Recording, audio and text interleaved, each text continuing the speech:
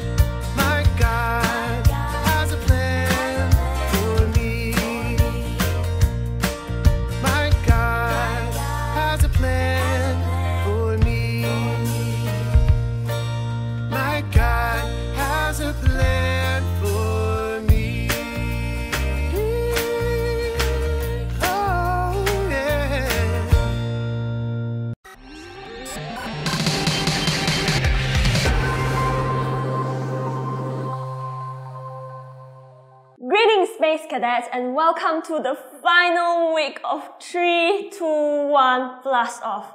What a big galactic bummer. Don't be sad, Teacher Shuhui. I've been really enjoying the past few weeks of training to be space cadets while also being great followers of Christ. Plus, we're not quite finished yet. We have one more out of this world training mission to go. Ah, that's right, Teacher Elisha. Let's go on our final mission. And let's count down together from 3 and shout blast off together, okay? 3, 2, 1, blast off! That's the spirit, Teacher Shuhui. Do you hear that? I think it's Chip calling in for our first mission.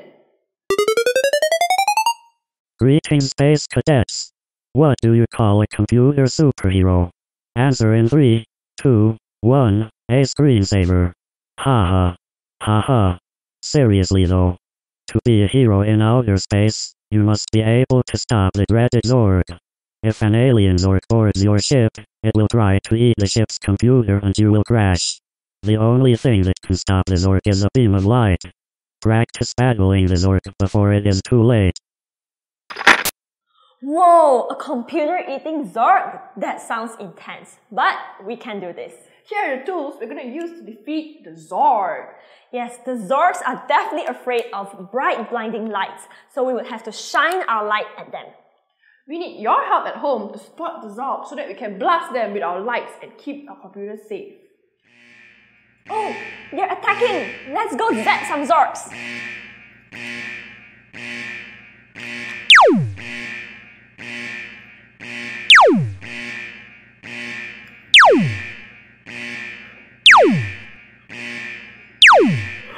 We defeated the Zorg! Thank goodness we had help from the kids at home in spotting those Zorgs. Yeah, now that our computers are safe, we can receive our second mission from Chip. Nice teamwork, Space Cadets. Sometimes we face troubles that are too difficult to handle alone. But you shared your trouble with each other and worked together to overcome it. Your next training mission is to discover the best way to help one another. You will find instructions in the Ultimate Training Manual, the Bible. Look up James chapter 5 verses 13 through 16. Then listen to the story of Ezra from the book of Ezra chapters 9 and 10 to complete the mission. Thanks, Chip. We have our second mission and it starts in the book of James. Let's turn to James chapter 5, verses 13 to 16 and see what it says. Listen carefully and see if you can tell what the verses are saying. The verses say, If any of you are in trouble, let that person pray. If any of you are happy, then sing songs of praise. If any among you are sick, then that person should send for the elders of the church to pray over them. They should ask the elders to anoint them with olive oil in the name of the Lord. The prayer offered by those who have faith will make the sick person well. The Lord will heal them. If they have sinned, they will be forgiven. So confess your sins to one another. Pray for one another so that they might be healed. The prayer of a godly person is powerful. Things happen because of it. What do you think of those verses we were talking about, teacher Shuhui? Hmm, I think it's about coming together and praying for each other. Maybe the story of Ezra will help us to understand it more. In the Old Testament, God gave the Israelites a special land to live in, which is called the Promised Land. The Bible says it was a land flowing with milk and honey, which means it was filled with everything the Israelites wanted and needed. But there was just one problem with it the neighbors. The Bible says that the promised land was surrounded by people who didn't know or love God. They worshipped false gods, made up gods, and they did terrible things that broke God's commandment. God wanted the Israelites to obey Him. God knew that if the Israelites followed the neighbors who didn't worship Him, then they would eventually stop worshiping Him too. One time, there was a priest named Ezra who loved and followed God with his whole heart. Ezra had been away from the promised land for a long time, but when he returned, he found out that a bunch of Israelites had disobeyed God and followed their neighbors. Ezra was so upset that he began weeping. He, threw, uh, he tore his robes and pulled the hair out from his head and beard. Whoa, so extreme! He must have been really upset. Yeah, he was. He fell down to his knees, spread his hands out to God, and prayed. The Bible says that Ezra prayed like this I'm filled with shame and dishonor, my God. I can hardly look to you and pray. That's because our sins are piled up above our heads. Our guilt reaches all the way to the heavens. When the people around Ezra heard him weeping and praying, they also wept too. They confessed to Ezra that it was true that he sinned against God by following their neighbors to also worship false gods. That's not all though. Because they heard, the whole nation came together and prayed with Ezra. They prayed with each other and for each other. They prayed that God would forgive them and heal them from their sins. And because of Ezra's prayer, the Israelites once again devoted themselves to following God and living His way. Now that you've heard the story, I think it's time to see how well you were listening. Are you ready for a Space Cadet Review Challenge? Yes, let's go! Question 1. James chapter 5 tells us to do what? A. Be kind and help one another. B. Confess your sins and pray for one another. C. Be generous and give to one another. D. Be truthful and honest with one another. The answer is B. Confess your sins and pray for one another. Next question. The promised land was known as a land flowing with what? A. Water and honey. B. Milk and jam. C. Milk and honey. Or D. Soda and candy. The answer is C. Milk and honey. Next, what did Ezra not do when he discovered the Israelites had sinned? A. He wept and prayed. B. He tore his robe. C. He pulled his hair out. And D. He threw his sandals. And the answer is D. He did not throw his sandals. Next question. What did the people do when they heard Ezra's prayer? A. They repented and prayed. B. They gave Ezra his privacy. C. They laughed at Ezra. Or D. They denied doing anything wrong. The answer is A. They repented and prayed with him. That was great! I'm sure you all did an amazing job answering those questions. Now, let's look at a deeper dive into the story of Ezra. When the people of Israel were facing trouble, all the people came together. They confessed their sins to one another and they prayed for one another. Yes, they did exactly what the book of James tells us to do. Let's read it together in our best cheap voices. So confess your sins to one another, pray for one another so that you might be healed. James chapter 5 verse 16. We all face troubles, and a lot of times those troubles are too heavy for us to handle on our own. That's why God wants us to lift each other up in prayer. Let me show you what I'm talking about. Let's assume that this book the trouble I have. But usually in life, we don't just have one trouble. It's probably a mountain of troubles. I try sometimes to do it all on my own, but I cannot. Oh, are you okay, teacher Elisha? Let me help you. Yeah. Sometimes we forget that God has given us people who love us and wants to help us with our troubles. God has surrounded us with people like Ezra who wants to pray for us. That's right, you're surrounded by people who want to pray for you. If you are struggling with a sin, you can confess to us. If you are sick, you can tell us about it. If you have some sort of trouble, you can let us know so that we can lift you up in prayer. Yes, that's so true. That's the end of our lesson for a series of 3, 2, 1, blast off! Way to go. You have successfully completed your final training mission. God's people faced trouble because they were not obeying his commandments. With the help of Ezra, the people confessed their sins and prayed for one another. We can do the same. We can help people who are in trouble by praying for them. If you love and follow God, your prayers are powerful. Now that you have completed the training program, raise your right hand and take the blast off oath. It's time for us to take the blast off oath, so that we will be full space cadets. The words will be on the screen, so let's say them together.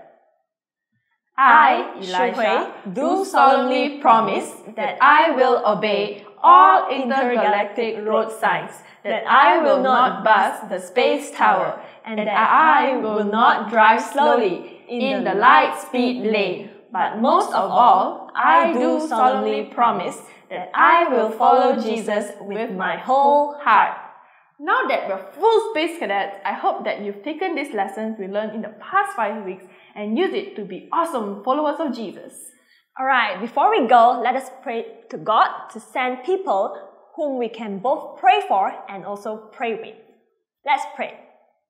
Dear Jesus, we just want to thank you that you have put people around us who love us and who wants to pray together with us, Lord. I just want to pray that, Lord, when we are facing troubles, we will have the courage to speak up, to tell the people around us, uh, to mm-hmm. our teachers, to our friends, and also to our family. I pray that we will also become the people who can pray for other people and pray with other people. In Jesus' name, I ask and pray. Amen. That's all we have this week. See you signing off as Space Cadets. Bye!